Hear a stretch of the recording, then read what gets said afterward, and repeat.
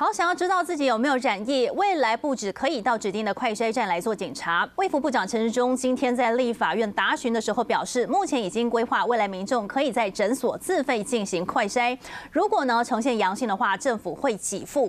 而面对国民党立委不断的点名，疫情爆发就是因为四月中开放机组员检疫措施改成三加十一，陈时中还是坚持疫情破口不是因为三加十一，感染源头都还在调查当中。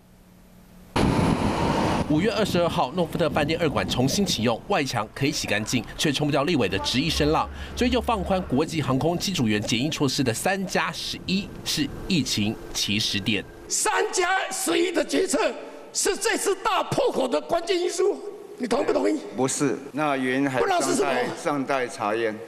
政策当然是我负责了 啊，那其他也不是委员叫说怎么样就怎么样了。还没结果前，陈市中先一肩扛起。华航的机师在澳洲被验出是阳性。从这一起本土个案开始，五月十五号双北三级警戒，五月十九号全国三级警戒，重灾区万华从人声鼎沸变成空城。陈市中记者会上还为警察染疫哽咽，何时解除三级还看不到尽头，还要为纾困预算到立法院被询，心力交瘁被拍到。闭目养神。你在那里打瞌睡？没有，没有人同情你，因为你做的不好。我也不需要大家来同情。只有苦劳？那个不是只有功劳，没有苦劳。我告诉你，中途休息十分钟的时间。疫情没有中场休息，立法院暂时只能靠分流降低风险。被要求设快筛站，陈世忠答应了。但就在快筛试剂产量足够，下一步呢？诊所。药药妆店、药房都成可以成为微型的快筛站，规划在诊所，不过我们整个规划是自费快筛了。